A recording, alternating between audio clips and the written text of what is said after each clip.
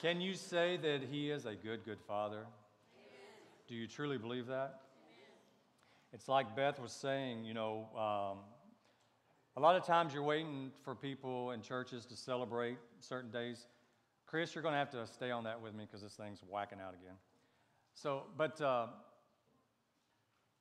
some people don't, didn't have a good upbringing.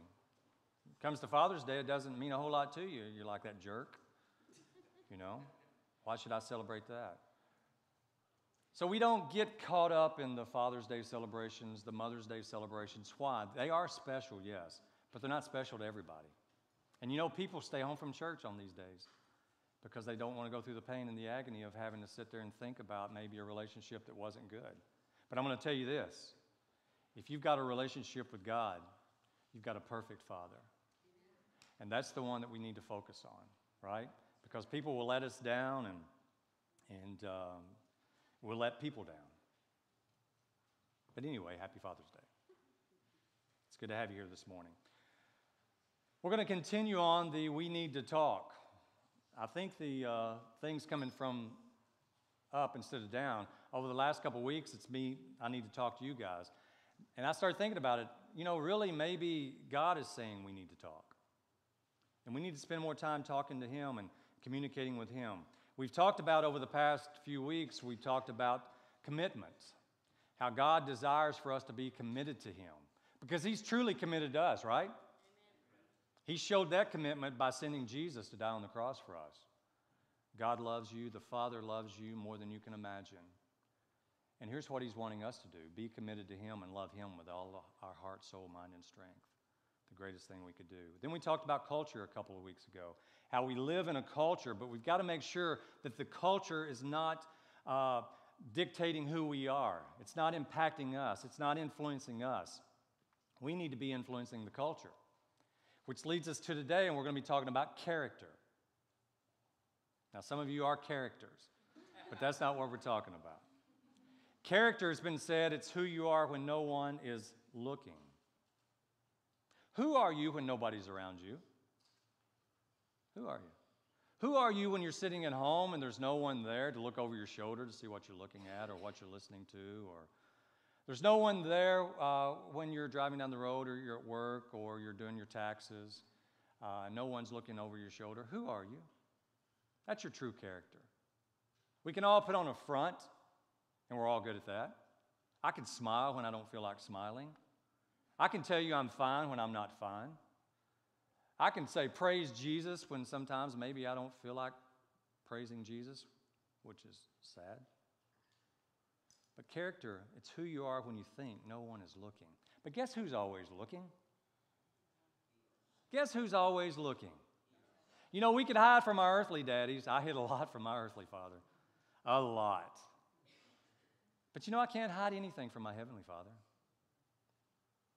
You know what? If I would really focus on that, if I would really, truly believe that and understand that, it would change my character, wouldn't it? Because here's the problem. We talked about it a little while, a couple weeks ago. We've stopped fearing God. Well, if He's a loving Father. Why should we have to fear Him? Because He's a just Father. And He's a Father who knows how to discipline His children. And He's a Father who dis- disciplines His children because He loves them so much.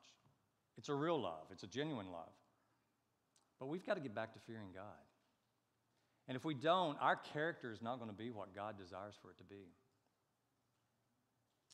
You've seen the old iceberg thing. The iceberg represents you as a person, kind of. That's not, that's, I guess that's a poor representation, but um, the 10% above the water is what everyone sees. Think about this. It's the 90% below the water that represents your character, who you really are. It's the part that people can't see.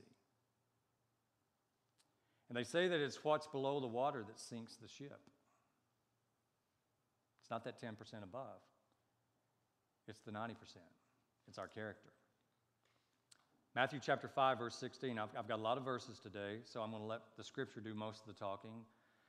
But I really want you to in fact, let's just take a moment right now because I really sense that somebody in here needs to really open up your ears and your eyes and your heart to what the Spirit would say to you today. Father, we do thank you for today. We do thank you that you're not only a loving Father, you're the loving Father. You're the perfect Father. You're the one and only true God. And we thank you, Father, that we can come into your presence and that we can sing praises to you. And I pray, Lord, that our life shows worship for you. I pray that our character truly points to you. And so, Father, right now, I pray in the name of Jesus that you would open up our eyes and our ears and our heart to receive from your word truth. And that, Lord, it might impact us, that we might leave here changed forever, more in love with you. So, thank you for this time. Lord, I pray your blessings upon the words that come out of my mouth, that they be your words and not mine. Protect the ears from anything that I would say that's not truth from your word.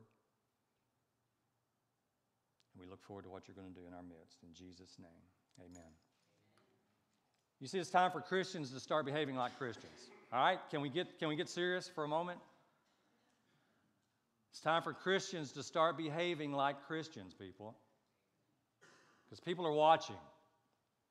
Matthew 5 16, Jesus says, Let your light shine before others so that they may see your good works and give glory to your Father who is in heaven. One of our earthly responsibilities, if you will, I don't like that word, but I, you know how my brain works. I can't think of the words I want when I want them. Is to bring glory and honor to the Father. I didn't bring, I tried to, I didn't do, I didn't do a bad job, but I didn't always bring glory and, and honor to my earthly dad. And I don't always bring glory and honor to my, earth, my heavenly Father, but my desire should be to be perfect in that area. We're to strive for perfection. That's what the scripture teaches. Not being perfect people, but being spiritually mature so that our lives reflect Jesus, reflect the Father, reflect the Spirit. And Jesus says we're to let our light shine. If I am not living as a person of character, my light is not shining in the dark world. Abraham Lincoln said this character is like a tree and reputation like a shadow.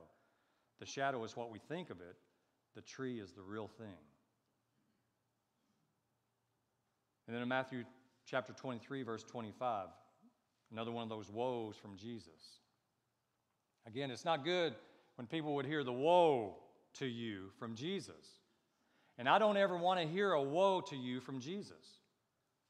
But he says to the, to the scribes, the Pharisees, the religious bunch, the ones who, who looked good, the 10% looked really good, but the 90% was not glorifying, glorifying God. He says, Woe to you, scribes and Pharisees, hypocrites. There's that word again. Not a good word. Don't want to be called a hypocrite, do you? Do you?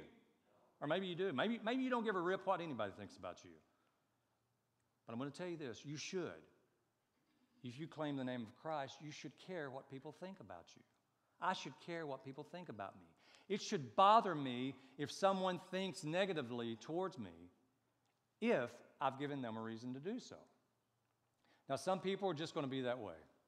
They're going to be negative. They're going to think you stink. They're going to think everything you do is wrong. But if you're trying to live for the Lord, if you're living for the Lord and you're letting your light shine, and then people think negatively of you, then and that's, that's a purpose where I don't care what people think about me. There's nothing I can do. You're not going to change those minds or those hearts. But I need to still continue to live for the Lord. I don't need to lower myself to their standards.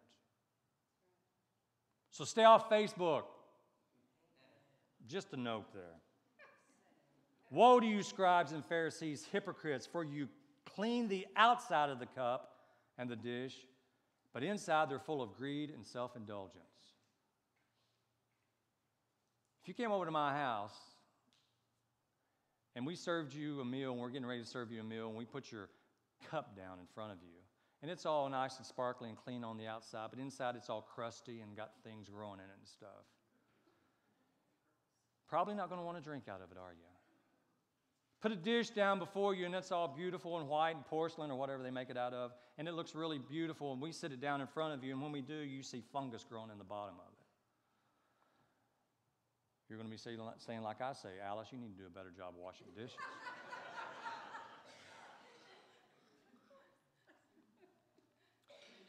This is what Jesus is comparing the religious bunch to a bunch of glasses, a bunch of dishes that are clean on the outside, but on the inside, it's full of just junk, it's full of greed, it's full of self indulgence.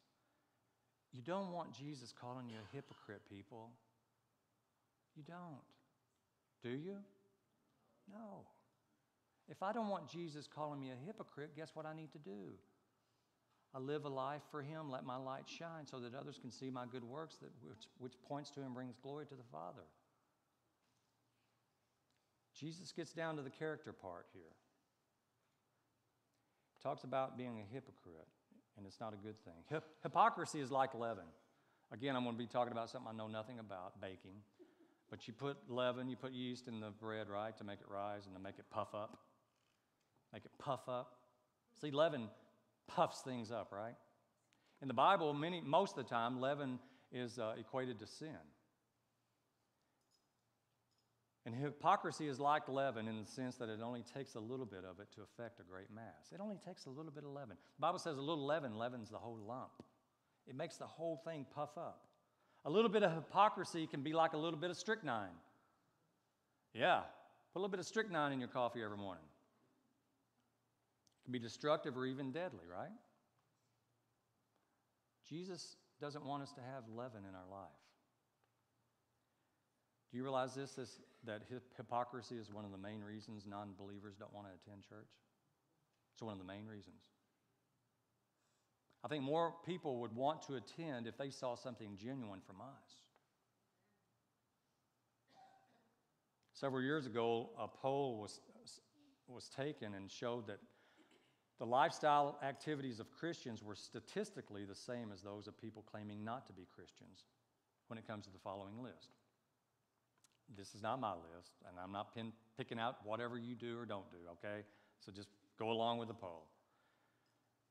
But when it comes to the following list, it's saying that Christians were, their lifestyles didn't show any difference than the non Christians. Gambling, visiting pornographic websites, taking something that didn't belong to them, saying mean things behind someone's back, consulting a medium or a physic or a psychic physic, a psychic, having a physical fight or abusing someone, using illegal or non-prescription drugs, lying, getting back at someone for something they did, and consuming enough alcohol to be considered legally drunk. There was no statistical difference between a Christian and non Christian in these 10 areas of, of people's lives. The only activity that was less common for Christians than for non Christians, and this is not a joke, was recycling. Only 68% of Christians recycle, and 79% of non Christians do.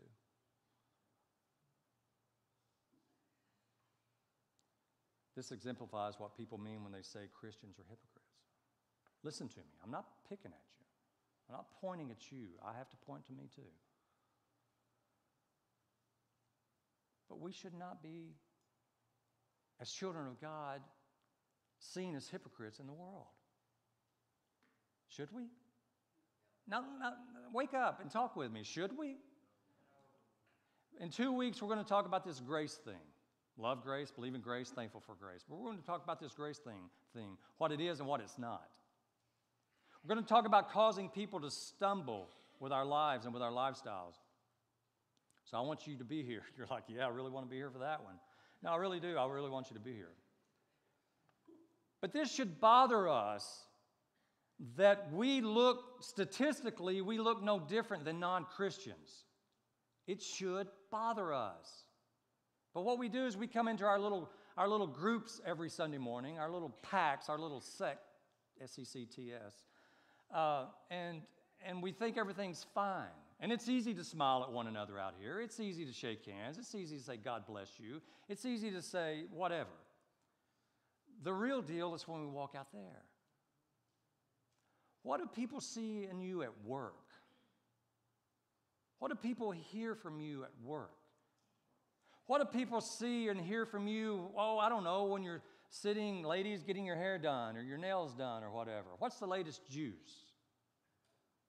Remember, I told you a few months ago, I've, I've, I've realized I've got the gift of meddling. So I'm meddling right now. When you're on Facebook, you do realize a lot of people can see what you write on Facebook, right? Have you figured that one out yet?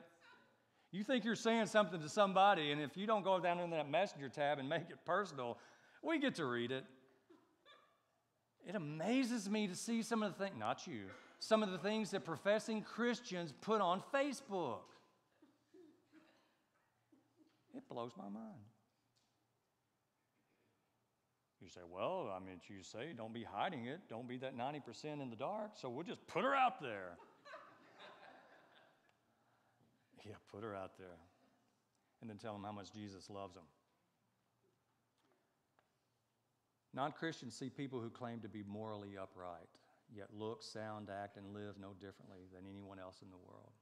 Should not be. According to the Bible, though, if there is no outward change in behavior, allegiances, loves, and passions, Jesus would question whether these people are actually Christians at all. People saying a prayer is not going to get you into heaven. We have to repent. We have to change, have a mindset change. We have to truly confess our sins before God. And we have to truly receive the gift of salvation that Jesus has already paid for. But when you do, your life will change immediately. And then sanctification starts, and it's a process that between here and eternity, we should be growing more and more and more and more and more like Christ. Striving to be perfect, spiritually mature.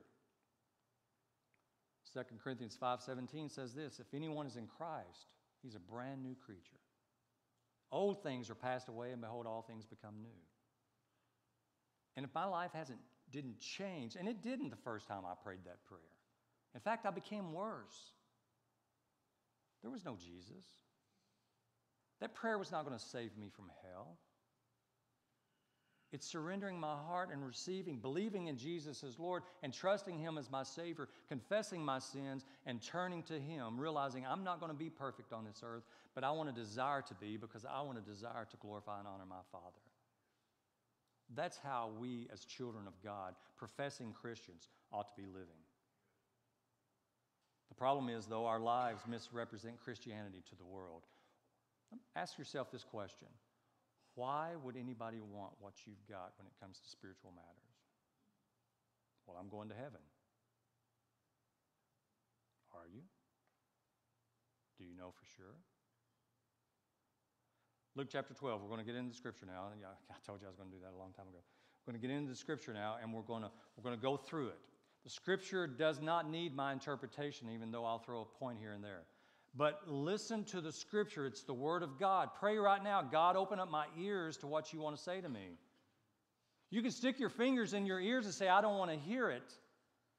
That's not a good thing.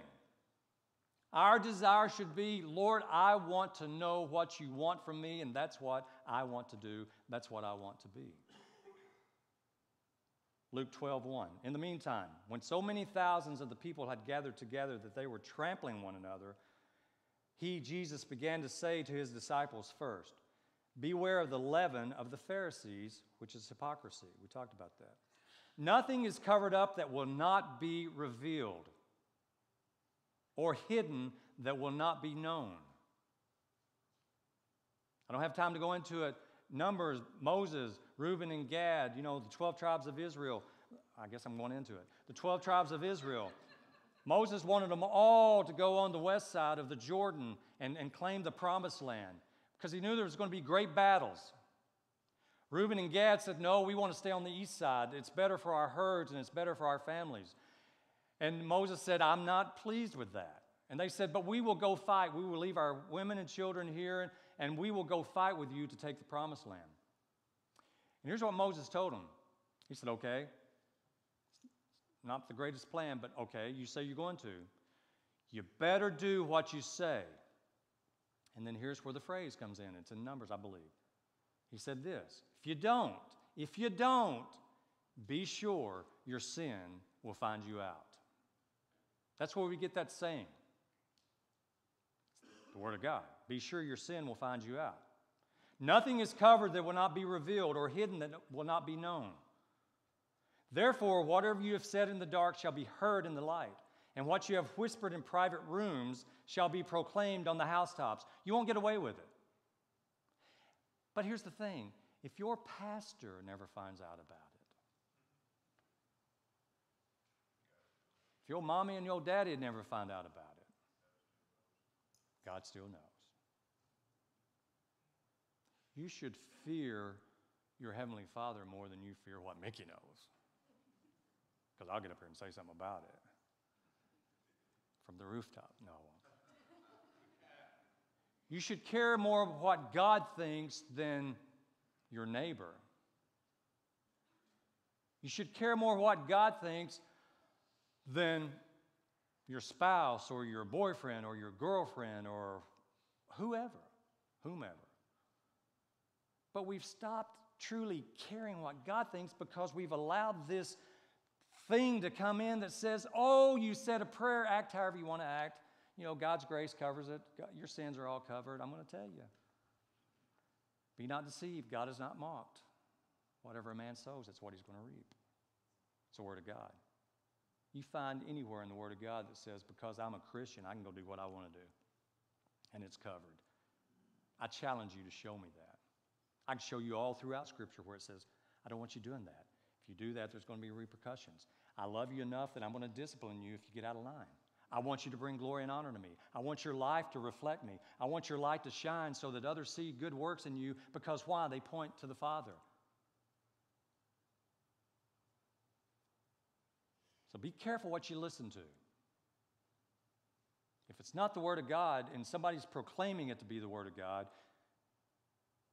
they're false prophets, they're false teachers. The Bible says in the last days they're going to be running rampant, they're everywhere. They're some of your favorite TV pastors.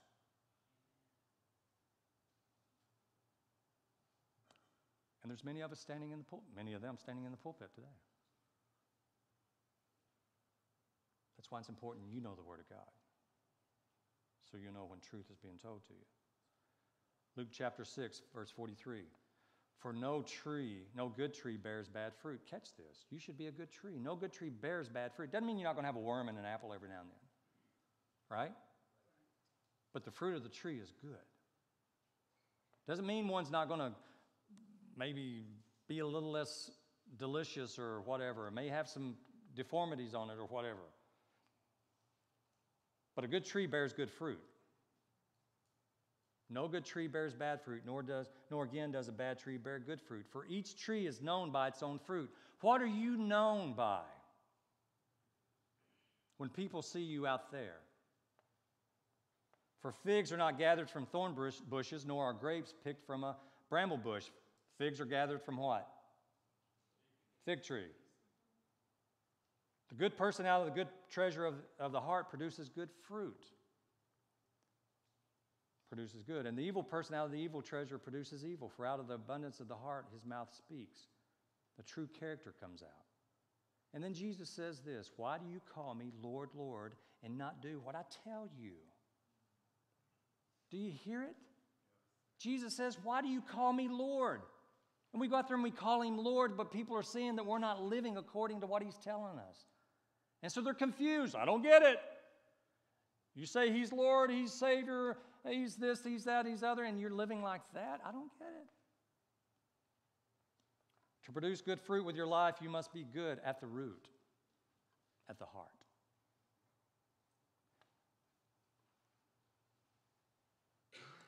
I hate to have to keep qualifying statements that I make. God understands we're going to mess up. But if I just live a life of mess ups because I don't give a rip, then I have to ask myself, am I truly His? Yes, His grace is sufficient, and His grace covers my sin. But His grace doesn't give me a license to sin. I can back my statement up. Can you back whatever you're thinking of? So open our eyes and our hearts to the Word of God. Let's go through this quickly, okay? Quickly. My favorite? Few verses. But the fruit of the Spirit is what? Love, joy, peace, patience, kindness, goodness, faithfulness, gentleness, and self control.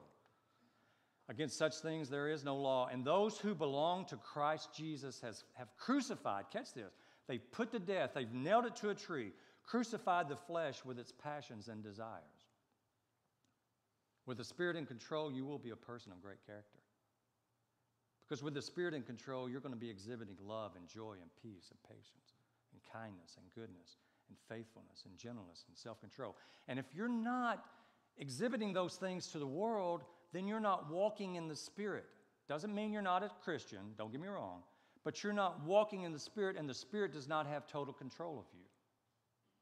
Philippians 4, verse 8 and 9, verses 8 and 9. Finally, brothers, whatever is true, truth, better there.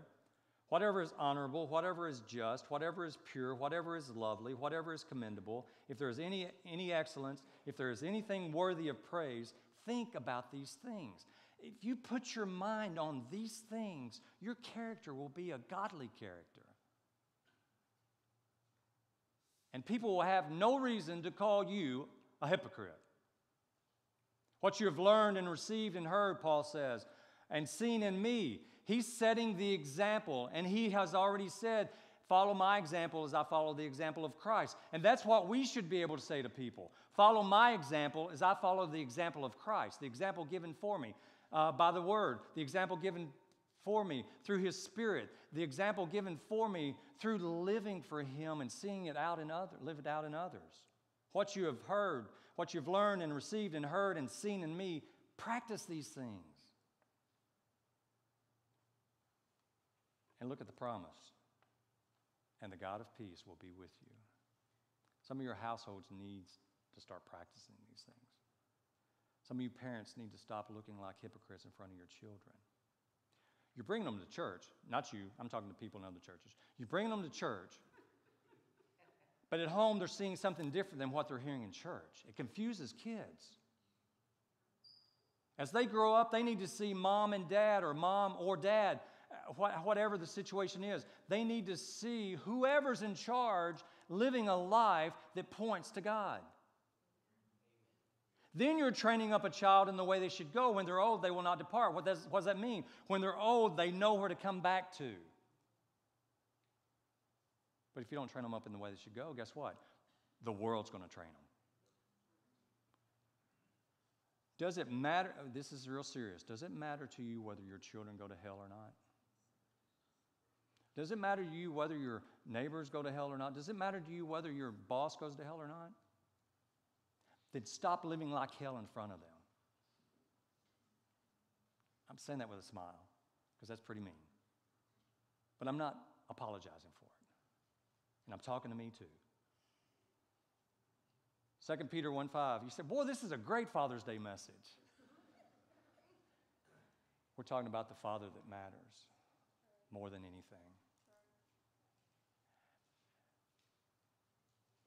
And every day should be Father's Day because our lives should point to the Father every day. 2 Peter 1 5, for this very reason, make every effort. Make every effort. It's an effort. Paul said things like this I learned in everything how to be content. And Peter, Peter's saying, for this very reason, make every effort. And if, for what very reason? If you read before it, it talks about the goodness, the kindness, the mercies, everything that God has done for us. For this very reason, make every effort to supplement your faith with virtue.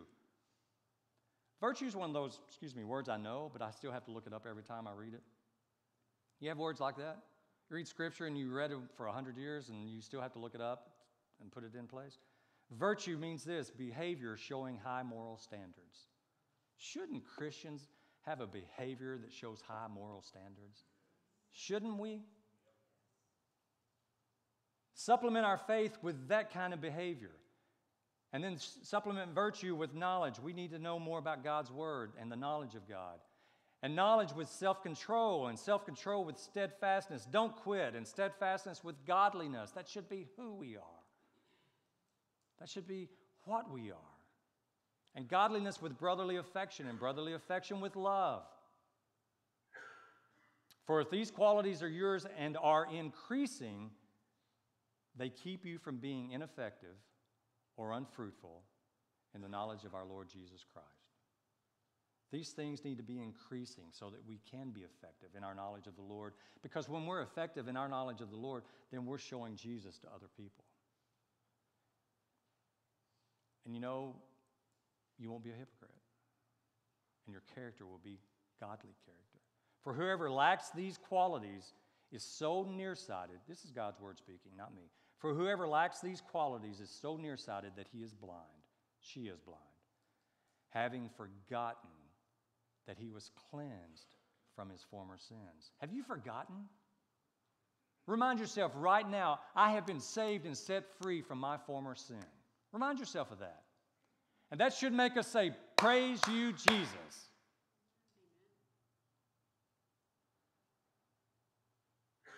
I'm about to get pumped up up here.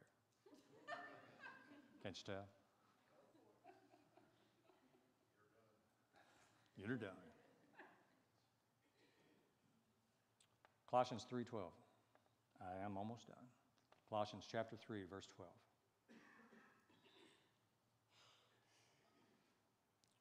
Put on then as God's chosen ones, holy and beloved, compassionate hearts, kindness, humility, meekness, and patience.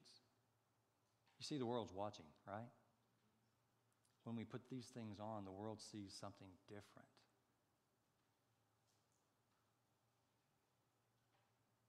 You know what? I, I, this just popped in. It may, I don't even know where I'm going with this. But it just, I've got to say this. I don't, uh, I'm trying to think what I'm supposed to be saying now as I'm saying it. When the team went on the mission trip to Haiti a couple weeks ago, when they went in there, hopefully all 100% of them showing was all about Jesus. But here's what the people saw when they went in. I, am guessing, I would, I'm, I'm, I'm pretty sure I'm right. But they saw compassionate hearts when they saw you guys. They saw kindness. They saw humility. They saw meekness. What is meekness? Meekness is simply power under control. They saw patience, probably. How easy it is to go to another country and show all those things, but we have trouble showing them in our backyard. We have trouble showing them in our home. Bearing with one another. And if one, catch this, if one has a complaint against another, you bear with them. And you forgive them. Well, they didn't ask me to. Doesn't matter. You can set you free. Forgive them. As the Lord has forgiven you, so you also, what's the word there? must. It's not a good thought. It's not a uh, Jesus asking us to do something through his word. You must forgive. When I see the word must, I'm thinking, I think, I think I'm supposed to do this. And above all, these put on love, which binds everything together in perfect harmony. Love is so important. God is love. When God's in control of your life, then love flows through you. When the Holy Spirit is in control, love, joy, peace, patience, all these things flow through you. And I say this all the time your fruit is not for you. Your fruit is not for you to look good. The fruit on you from the Holy Spirit is so that others can taste and see that the Lord is good. Right? And that's what we're supposed to be fruit trees, fruity. Start calling you guys an orchard. That's what we need to be. Put on love, which binds everything together in perfect harmony. And let, catch this, I love this. Some of you need to just get this verse right here. And let the peace of Christ rule in your hearts. Some of you need to let his peace rule in your heart. To which indeed you were called in one body, and be what? Thankful.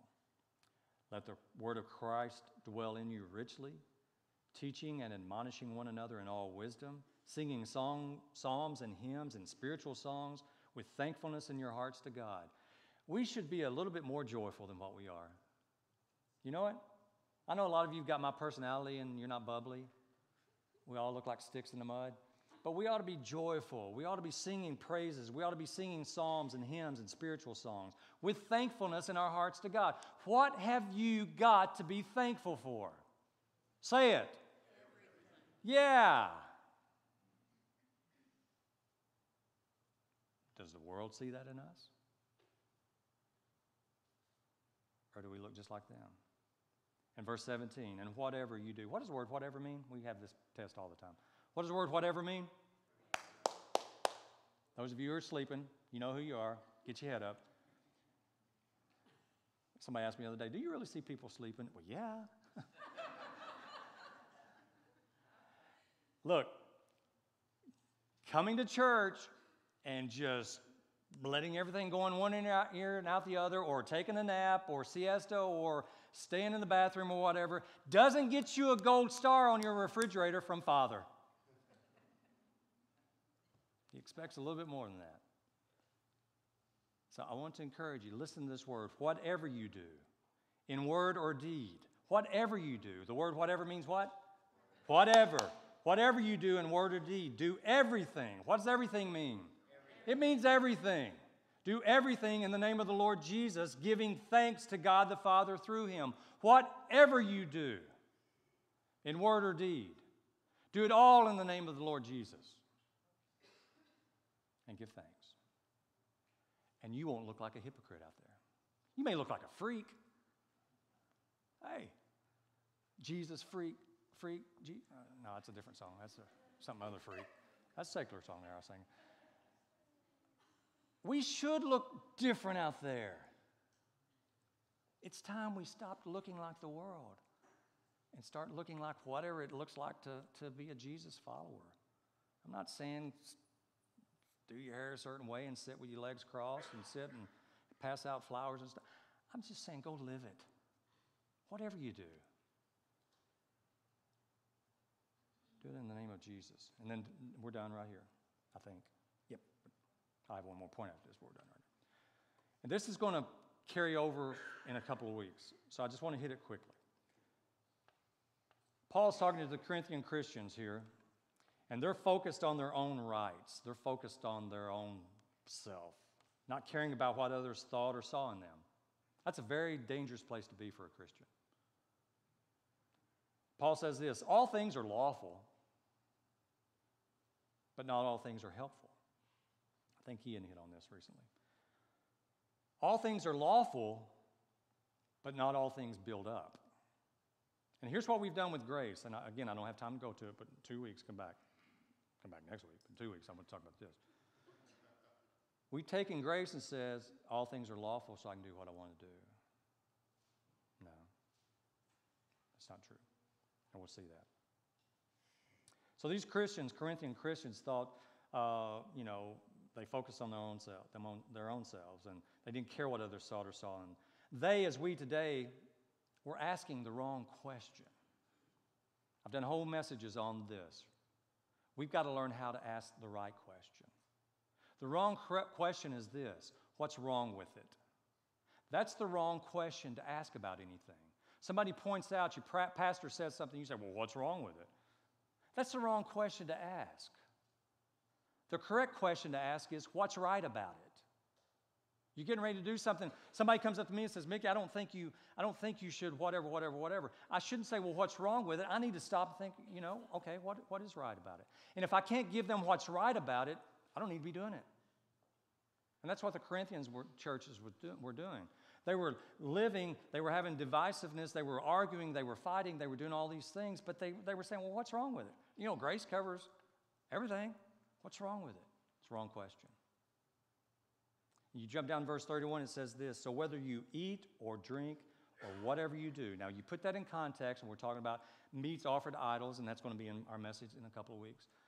Uh, what can we do? What can't we do? What are we allowed to do? What are we not allowed to do? And we'll talk about that. But, but go down to verse 31, it says, So whether you eat or drink or whatever you do.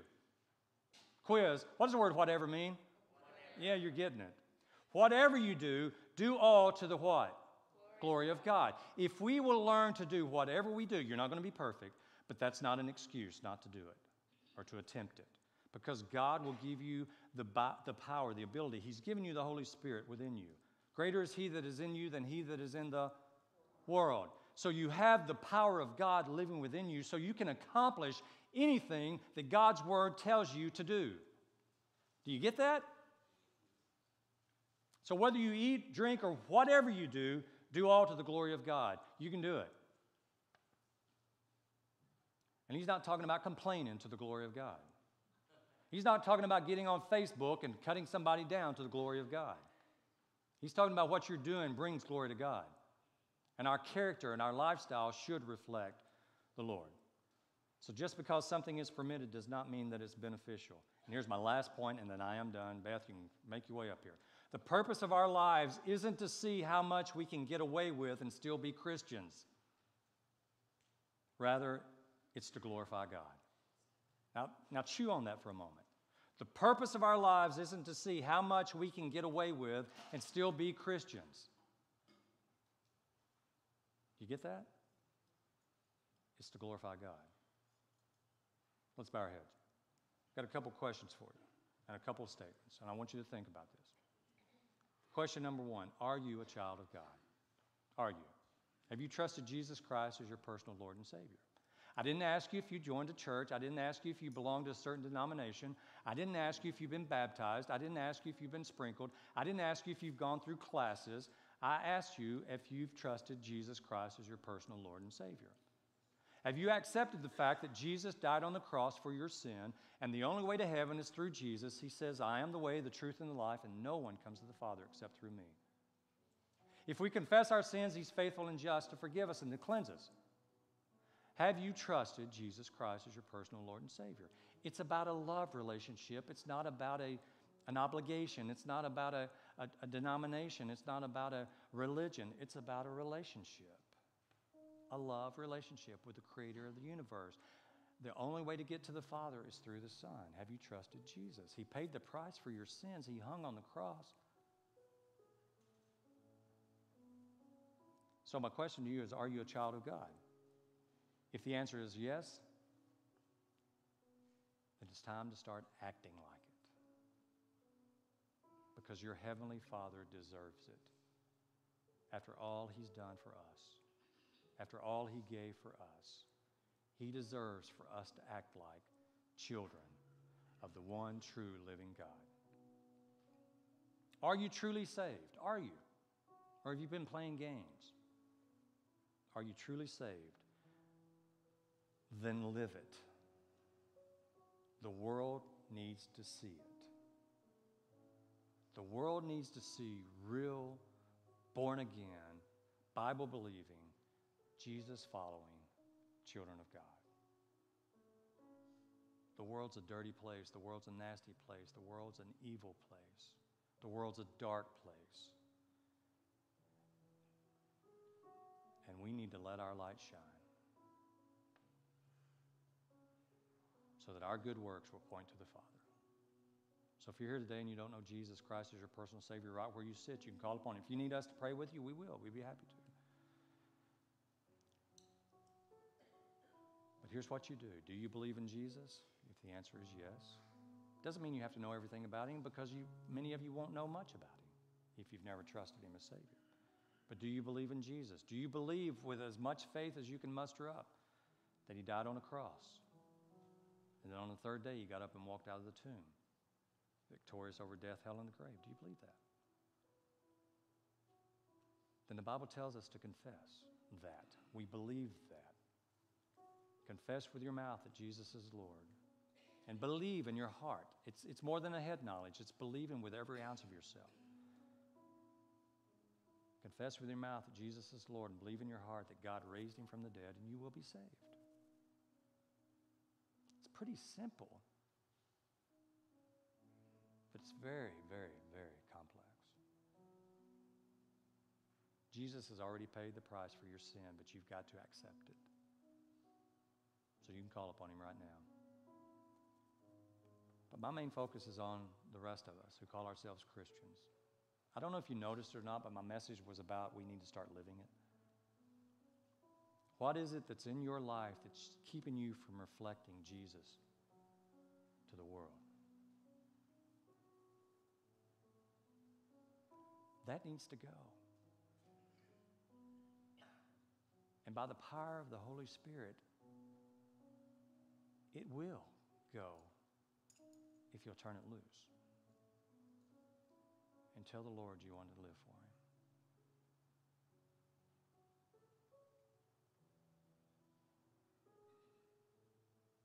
I don't know that I've ever done this, but I'm going to ask us to pray together. I'm going to ask you to pray out loud.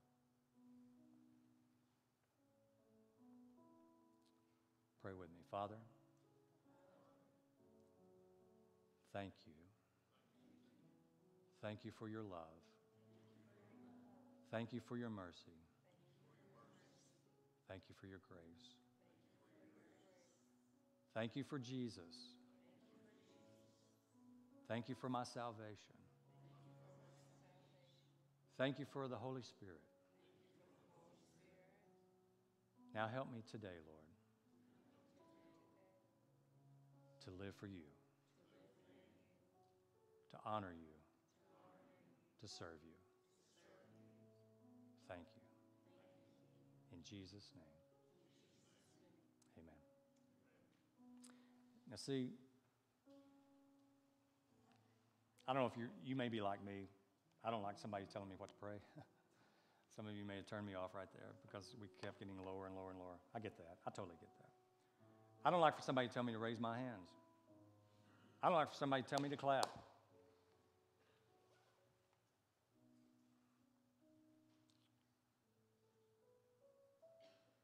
But you know, sometimes we got to step outside of what we like and don't like and do what's best to bring glory and honor to